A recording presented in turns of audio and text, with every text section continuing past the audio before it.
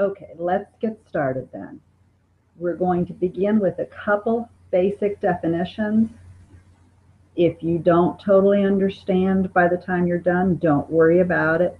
Again, we're going to learn A is for apple, even though you don't know what an A is and you don't know what an apple is, by the end of the course, it should all fit together and make sense. So let's start with assets. Assets are things, the technical definition is they're things with probable future economic benefits. An easier way to think about it is they're often things, things you can touch like a car or cash or a house. So tangible things are the easiest ones to visualize. Another way to think about it is it's things in your company that have value. So things that somebody else would give you money for would be assets. So things like cash, buildings, furniture, uh, those are the most straightforward ones. But it also includes IOUs from your customers. We call those receivables because if a customer owes you $100, you could sell that IOU to someone else and let them collect it. So those have value to you and those are assets. Liabilities. Those are the opposite. Those are things with probable future economic sacrifices, meaning you'll have to give up something in the future. Usually that's cash, but it could be that you have to mow somebody's lawn or provide some services in the future. So again, that's what your company owes to others. Um, for most of this first part, we'll assume what we're owing is cash. The nice thing about this is very often the word debt or payable is in the title, so it makes it a little bit easier. The third definition is stockholders' equity, and that's just what's left over. If you think about your assets, the things you have in, of value, less the liabilities of what you owe others, the remaining is what the owners really own.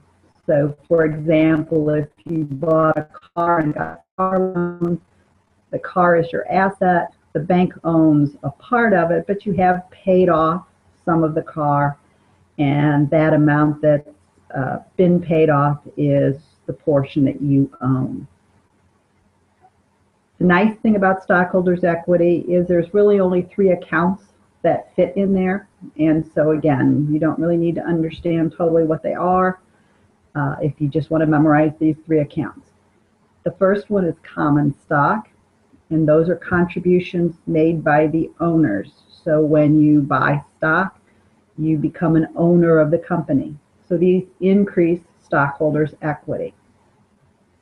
Dividends is the next one. Those are withdrawals of cash by the owners. So we're taking money out of the company so we can buy Christmas presents or do something else as the owner of the company. Um, those reduce stockholders' equity. It reduces the value of the uh, the firm as a whole. And the last one is retained earnings, and that's where you store or accumulate all the company's profits over a, the company's lifetime. So as a company makes money, the size of the company grows, and that's all shown in retained earnings. Put all that together, and we have the accounting equation. The accounting equation is assets equals liabilities plus stockholders' equity.